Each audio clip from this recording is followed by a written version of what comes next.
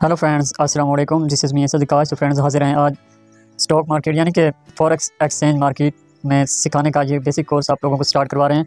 क्योंकि कुछ दोस्तों को पता ही नहीं है कि क्या करना है, कैसे ट्रेड लगानी है ब्रोकर क्या होता है M T four M T five क्या होता है लॉट साइज़ कितना होना चाहिए, और ये इन्वेस्टिंग डॉट कॉम क्या है तो यहाँ पर इन चीज़ों का इस्तेमाल कैसे किया जाता है स्ट्रैटेजी कैसे बनाते हैं, यानी कि स्ट्रैटेजी कैसे होती है, फिर लेवल कैसे लगाते हैं तो ये सारी चीज़ें, सारी तो नहीं, तकरीबन पहली वीडियो होने वाली है हमारी इस बेसिक कोर्स के हवाले से तो ये आप लोगों को मुकम्मल ही गाइड करेंगे इस सीरीज़ में हम। तो सबसे पहले फ्रेंड्स अगर आप लोग स्टॉक मार्केट एक्सचेंज जो भी है आप लोग ज्वाइन करना चाहते हैं तो सबसे पहले आप लोगों को किसी ना किसी ब्रोकर के साथ, यानी कि ये एक्सएम हो गया, और उसके बाद हॉट फॉर एक्स हो गया एक्स ट्रेड हो गया, या जी ट्रेड और जो भी जिस तरह का, यानी कि जो ब्रोकर हो गया तो उसके साथ आप लोगों को रजिस्टर करना ज़रूरी होता है।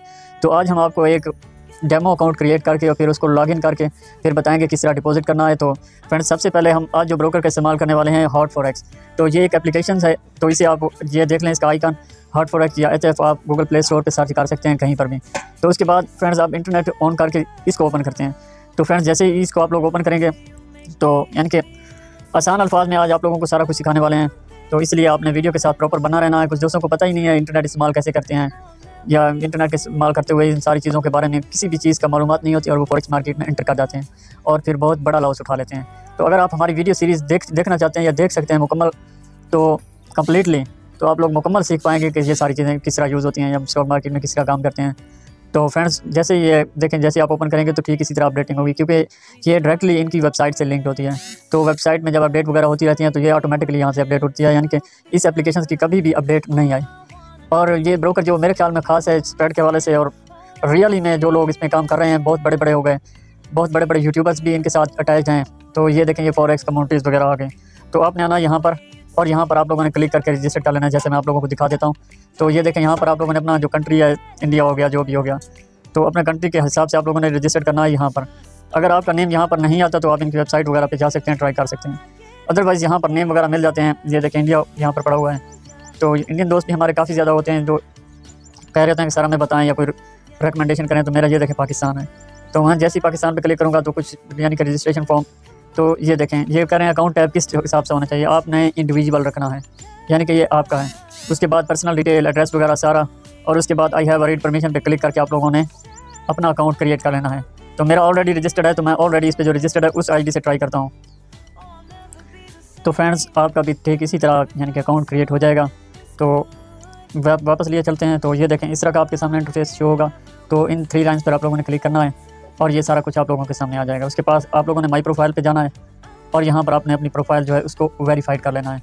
तो प्रोफ़ाइल वेरीफिकेशन का वो मुख्तलिफ़ होता है, यानी कि इनका ईमेल वगैरह होता है, उसके बाद पर्सनल वेरिफिकेशन होती है, यानी कि उसके बाद phone number verification address verification वगैरह, ये सारा कुछ वेरिफिकेशन करने के बाद आप लोगों का अकाउंट क्रिएट हो जाता है। उसके बाद आप लोगों ने यहाँ पर आना है नीचे। ये वॉलेट एड्रेस है, ये आप लोगों को पहले ही मिल जाएगा। उसके बाद आपने आ जाना है माई अकाउंट पे। यहाँ पर आपने सबसे पहले माई वॉलेट अकाउंट क्रिएट करना है, क्योंकि जिसमें आप डिपॉजिट वगैरह कर सकें। उसके बाद आप लोगों ने आ जाना है माई ट्रेडिंग अकाउंट पे। तो मेरे ऑलरेडी बने हुए हैं तो मैं डेमो अकाउंट क्रिएट करता हूँ सिर्फ़ और सिर्फ़ आप लोगों को दिखाने के लिए। तो डेमो पे आते हैं, ठीक इसी तरह आप लोगों ने भी ऐसे ही करना है। तो ये देखें M T four demo premium ये अकाउंट मैंने ओपन किया है।